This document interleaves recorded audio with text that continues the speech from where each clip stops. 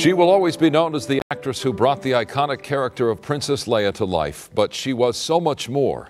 Tonight we remember Carrie Fisher, and we have team coverage. Mary Beth McDade is talking to fans about the actors who they will always remember as Hollywood royalty. But we begin with KTLA's Doug Kolk with a closer look at the memorable career of the iconic actress, comedian, and best-selling author. Doug? Well, Micah and Cher, that career included 90 acting credits to her name. Movies like Blues Brothers or The Burbs, and TV shows like 30 Rock or The Big Bang Theory.